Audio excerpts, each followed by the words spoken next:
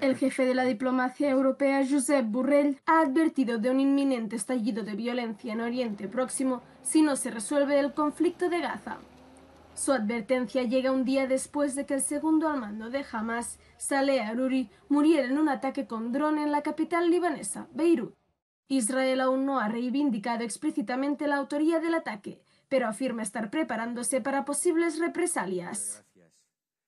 Se están sembrando las raíces del odio y si esa tragedia no se acaba pronto, mucho me temo que todo el Oriente Medio se va a ver envuelto en llamas.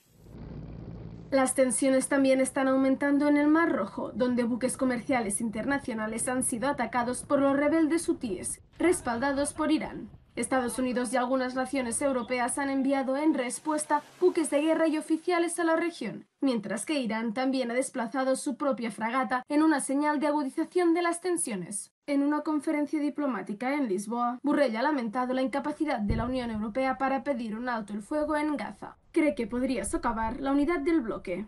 No hemos sido capaces dentro del Consejo Europeo de llegar a una posición unánime para defender un alto el fuego.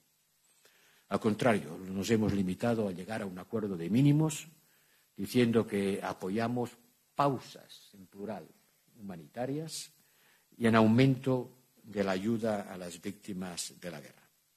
No hay una solución, una posición unánime.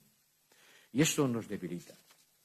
En diciembre, la mayoría de los estados de la Unión Europea votaron a favor de un alto el fuego en Gaza en la Asamblea General de la ONU pero algunos de los 27, encabezados por Austria, temen que un llamamiento conjunto de la Unión Europea al alto el fuego pueda socavar el derecho de Israel a la autodefensa.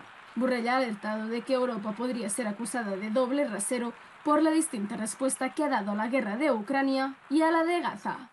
La posición clara y firme de Europa frente a la guerra en Ucrania no es compartida por muchos países del mundo que inmediatamente nos acusan de tener principios de geometría variable, o eso que llaman double standards.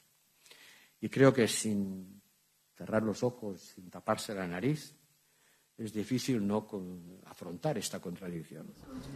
Algunos países de la Unión Europea, como Bélgica, Irlanda y España, han pedido públicamente un alto del fuego, pero aún no hay consenso entre los 27.